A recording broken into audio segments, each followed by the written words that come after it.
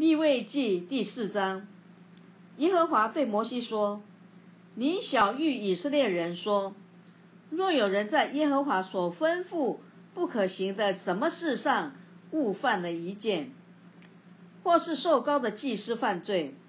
使百姓陷在罪里，就当为他所犯的罪，把没有残疾的公牛犊献给耶和华为赎罪祭。”他要牵公牛到会幕门口，在耶和华面前按手在牛的头上，把牛宰于耶和华面前。受高的祭司要取些公牛的血带到会幕，把指头蘸于血中，在耶和华面前对着圣所的幔子弹血七次，又要把些血抹在会幕内。耶和华面前相谈的视角上，再把公牛所有的血倒在会幕门口，凡祭坛的脚那里，要把赎罪祭公牛所有的脂油，乃是盖帐的脂油和帐上所有的脂油，并两个腰子和腰子上的脂油，就是靠腰两旁的脂油，与杆上的网子和腰子一概取下。与平安祭公牛上所取的一样，祭司要把这些烧在燔祭的坛上。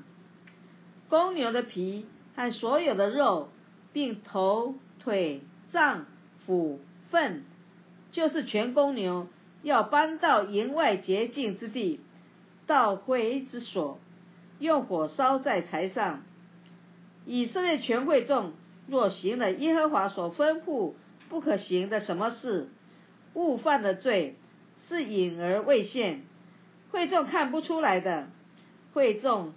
一知道所犯的罪，就要献一只公牛犊为赎罪祭，牵到会幕前。会中的长老就要在耶和华面前按手在牛的头上，将牛在耶和华面前宰了。受高的祭司要取些公牛的血带到会幕。把指头蘸于血中，在耶和华面前对着幔子弹血七次，又要把些血抹在会幕内，耶和华面前弹的视角上，再把所有的血倒在会幕门口，凡祭坛的脚那里，把牛所有的脂油都取下，烧在坛上，收拾这牛，与那赎罪祭的牛一样。祭司要为他们赎罪，他们必蒙赦免。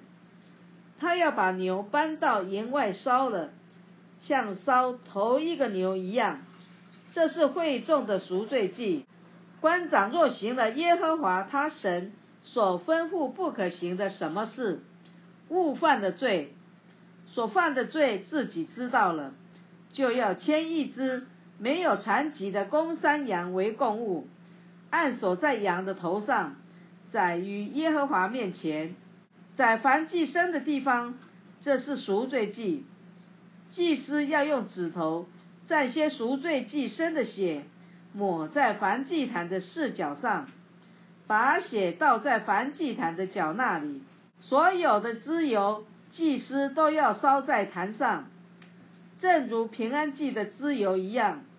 至于他的罪，祭司要为他赎了，他必蒙赦免。民中若有人行了耶和华所吩咐不可行的什么事，误犯的罪，所犯的罪自己知道了，就要为所犯的罪牵一只没有残疾的母山羊为供物，按手在赎罪祭生的头上，在那宰凡祭生的地方宰了。祭司要用指头蘸些羊的血，抹在燔祭坛四角上，所有的血都要倒在坛的角那里，又要把羊所有的脂油都取下，正如取平安祭牲的脂油一样。祭司要在坛上焚烧，在耶和华面前作为馨香的祭，为他赎罪，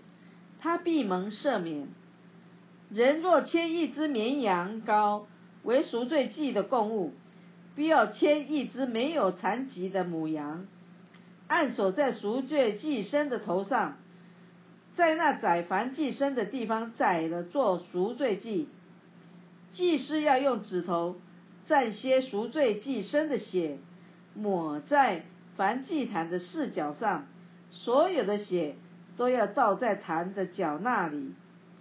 又要把所有的脂油都取下，正如取平安祭羊羔的脂油一样。